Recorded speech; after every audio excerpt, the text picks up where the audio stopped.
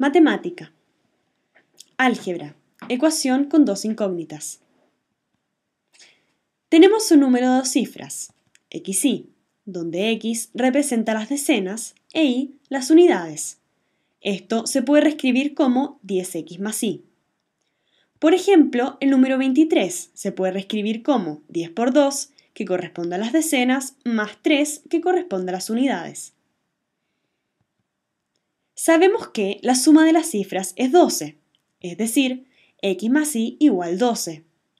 Además, sabemos que al restarle 18 quedan las cifras invertidas, es decir, xy menos 18 es igual a ix. Reescribiendo la segunda ecuación, tenemos 10x más y menos 18 igual 10y más x.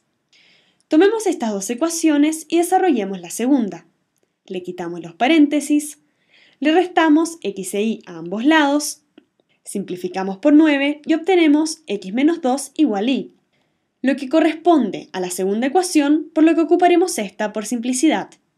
Ahora, si despejamos y en la primera ecuación, tenemos que y igual 12 menos x. Reemplazando esto en la segunda, tenemos que x menos 2 igual 12 menos x. Si a esto le sumamos x y le sumamos 2 a ambos lados, obtenemos que 2x igual 14. Simplificando por 2, x igual 7. Reemplazamos esto en la primera ecuación, con lo que obtenemos que y igual a 5. Por lo tanto, xy es igual a 75. Comprobémoslo. x más y es igual a 12.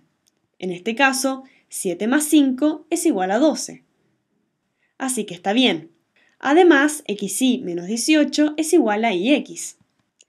75 menos 18 es igual a 57, lo que también está correcto. Por lo tanto, 75 es el número buscado.